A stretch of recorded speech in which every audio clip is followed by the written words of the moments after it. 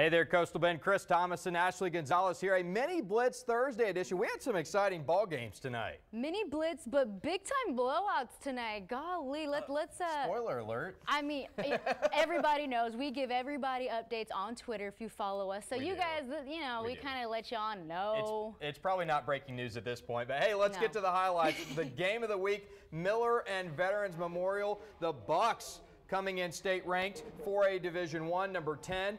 Veterans Memorial coming in state ranked number 8 in Class 5A Division 1. Vets on the board first. The new starting QB, Elijah Durrett, in for the score. Two point, though, no good, so the Eagles go up 6 nothing. But Miller answering right back. These two teams were pinballing in the first half. The Bucs, Jaden Brown dumping it down to Lonnie Adkism, and he does all the hard work. He gone down the sidelines. The Bucs take their first lead of the game at 7 to 6, a play of the week nominee. He said, give me those ankles. He did. Ooh. But on the ensuing kickoff, another play of the week nominee, back to back, Luke Moya, going to cut across midfield and cut through the Buc special teams like a hot knife through butter. He too gone down the sideline.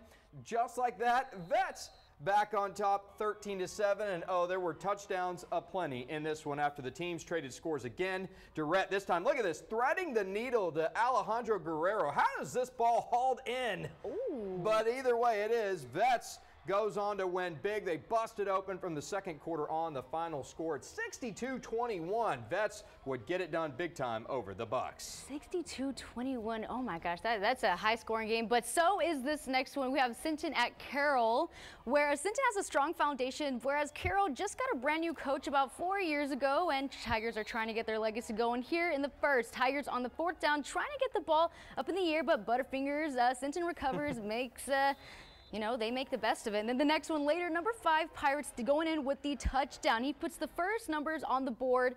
And then up next, then Carroll makes a huge mistake and uh, oh. snaps to absolutely no one. Carroll gets that safety. And let me tell you, Chris, coach was very upset about that one. Then up next, Later, another touchdown. QB short pass to number 17, J.R. Cruz, Mr. Big Man with 14 zip Pirates up.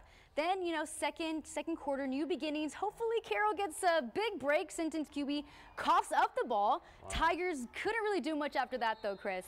Yeah, let's take a look at the final score, all sitting in this one. 50 to 12. Pirates go home and uh, take the dub on this. High scoring game. I cannot yep, believe and that. and some uh, COVID cancellations. Kingsville at San Diego canceled. You heard earlier San Diego shut down athletics into early next week. Their game at West Oso is still on.